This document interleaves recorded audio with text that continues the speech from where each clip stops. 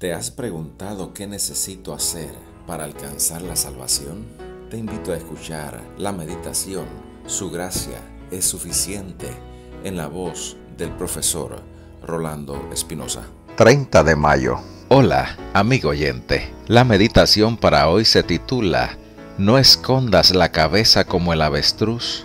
Segunda de Corintios 10:2 nos dice, Os ruego pues que cuando esté presente no tenga que usar de aquel atrevimiento con que estoy dispuesto a proceder resueltamente contra algunos que nos tienen como si anduviéramos según la carne. En todos los ámbitos, familia, trabajo, iglesia, comunidad, podemos enfrentar conflictos. Resolverlos no es fácil. Existen situaciones muy complejas. Nuestras emociones están fuertemente involucradas en ellas nos bloqueamos y nos faltan estrategias. El conflicto se inicia cuando alguien o algo nos afecta. Creemos que nos afecta o nos parece que puede llegar a afectarnos. No podemos resolver problemas usando el mismo tipo de razonamiento que usamos cuando lo creamos. Albert Einstein. ¿Cómo enfrentó Pablo la multitud de problemas que tuvo en Corinto?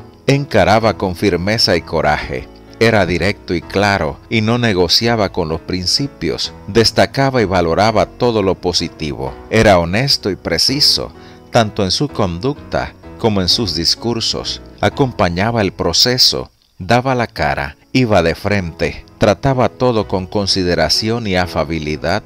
Ninguna razón ni verdad justifica un trato desconsiderado y violento. Buscaba siempre resaltar el mensaje y actitud de Cristo, usaba la disciplina como último recurso. A veces es necesaria, pero debe ejecutarse con amor, buscando ante todo sanar y restaurar. Muchas personas prefieren convivir con el conflicto antes que buscar cómo resolverlo lo cual nos encierra en una cárcel de tensión que magnifica aún más los problemas. La condición de la mente influye en la salud mucho más de lo que generalmente se cree. Muchas enfermedades son el resultado de la depresión mental, las penas, la ansiedad, el descontento, remordimiento, sentimiento de culpabilidad y desconfianza. Menoscaban las fuerzas vitales y llevan al decaimiento, y a la muerte.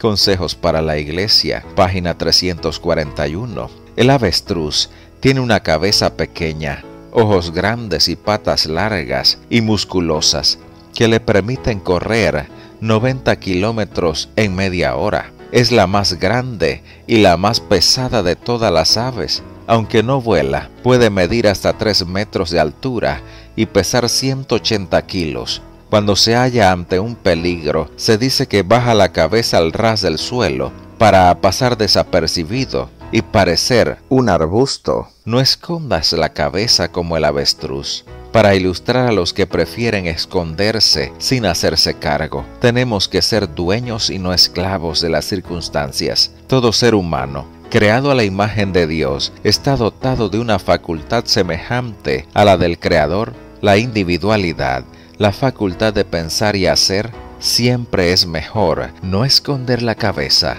como el avestruz. Y de esta manera te invito a escuchar mañana por este mismo medio la meditación Tu gracia es suficiente con tu amigo, el profesor Rolando Espinosa.